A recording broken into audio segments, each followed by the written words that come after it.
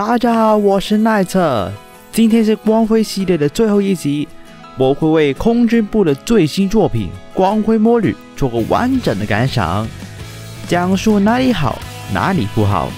先来个大总结，十分满分，我会给这部番六分。与此对照的是，通往柏林之路七点五分，无畏魔女五分，少战终章全三话八点五分。可以看出我对这个番的评价尚可，但明显不是最好。接下来是点名时间，我们从第一话开始说起。详细传统第一话都会安排几分钟来介绍背景，不过这次破例没有。其实我觉得这番特别需要背景介绍，游戏里走的是普遍级以及音乐，新人们不懂登克尔克啊、高卢等等。先播个两分钟的前导，然后直接进坐火车，干净利落又不会让我不懂。你看第三季不就是这样做的？不过总花就第一话吸引力还是不错的，毕竟有奇异恩典这个家传户晓的功臣嘛。盛世的力量是强大的，而且金怡的耳机传导针就真的很像音乐人，好吗？快转到第四话。第四话是光辉第一个三 D 画面，我认为这个三 D 火候为足，虽然比无畏的软镜三 D 呃拉崩掉的好，不过相比 RTB 以及第九到第十二话，可能因为加了黄昏的滤镜，嗯，整体来说有点塑胶的感觉啊。第五到第六话都是 CP 回，也就是日常啦，分别是曹、谢威以及玛娜、玛利亚。算是详细系列最吸引人的地方，不过这是我评分最低的话术，为什么呢？离题了。我希望看到的是 CP 人先来个双人表演，然后其他全体加入。不过本剧选择把重点的音乐以 BGM 的形式播放，这就好像今天的校战把各校对战过场以外的东西都改成日常，这个比喻你懂吗？有魔女，但你的光辉呢？第六话是经典的空中告白回，而这个空中告白来的超级唐突。那当然，我觉得马拉与玛利亚是一定有镜头没拍到的交情。不过你要猜原唱番的剧情，就证明他的说明严重不足。要知道的是，A 拉以及桑雅已经是 CP 多年了。二季六话的神龟是加强此 CP 的闪光度的，而三季六话之前，巴罗霍鲁与这哈特曼已经相处多年了。空中告白是帮这个王牌组的传说 CP 背书，所以空中告白也要有一定程度的关系才能出发。我觉得，呃，把后来双马组放闪的画面搬到前面埋伏笔会更好。可惜了这个强袭传统，还有。看先行动画以及 ED 出现麻娜的故乡刘泽兰，当初我会认为第六话的背景会在那里，不过最后却在希腊，双方都在客场玩 CP 回是有一定影响的。第七话找了北欧主来救场，不过这话我倒是觉得不是北欧主也是神回。对一个新人来说，北欧主是谁我不知道，不过这块你可以看到。依靠着魔女的独有力量，突破了地域限制，把音乐传至千里之外，完全符合光辉门的初衷啊！将音乐传至世界的每一个角落，连接因为战争而离别的人们。这块本身只是把伏笔照应而已，没想到是超越啊！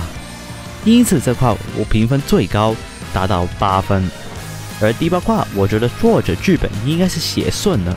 这块我也觉得不错，特别是让金尼声优弹日本筝来作为这块的主题曲，对插班生啊、老粉啊、新粉来说都是新鲜而不离地的，是自己的传统音乐嘛，还是声优弹的？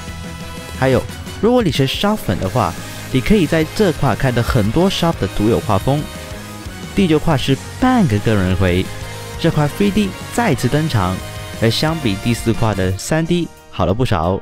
可是 A 拉还是很违和啊，而终于在第九话的时候，首次违反军方要求，自己把表演带到市井小民上。而不意外的是，第十话送了刀，正当我以为光辉剧情会越来越好，洋葱越来越多时候，在砍了十一块三分之四的时间后，经理突然归队了。会有这种感觉啊，回忆撒要被窝，因为经理是绝了心要离开的，想一百八十度回头，可能需要整集的时间了。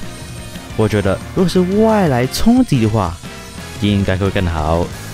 要知道的是，这个套路已经被他们玩了十五年，玩到炉火纯青了。幸好第十二话情势流转了回来，编剧知道不能让当时的科技水平。约束演出的规模，所以再次借助魔女们的力量，从一九四四年跳掉二零二二年，A.K.A. 虚拟演唱会。对一个老粉来说，说话不打仗已经很神奇，好吗？当初我还以为是光辉遭到异形军的攻击，莫菲知道主人有事之后，化身为流星砸到经理那边开大招，异形啊就被五零六或者嗯其他魔女你懂的围剿。而强行系列是第一次不用战斗就能够拉高剧情张力，还是蛮新鲜的。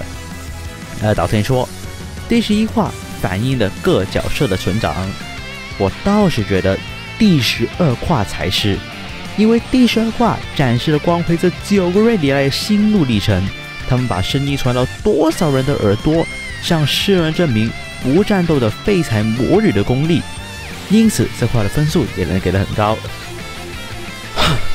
那你可能说了，有问题就三话而已，其他的评价都不错啊，那为什么分数会给那么低呢？因为有两个整体问题，首先是大家都同意的，满足感不够，因为有话的表演次数才三次而已，而我希望的是你天天都开演唱会，或至少唱个歌啊，就像前作《雄鹿五零二》也天天打仗啊。不过以音乐跟偶像主轴的光辉就很少，呃，我知道是受到经费不足所影响，而以花钱在刀口上的解决方法也不错，不过还是觉得多点会更好啊。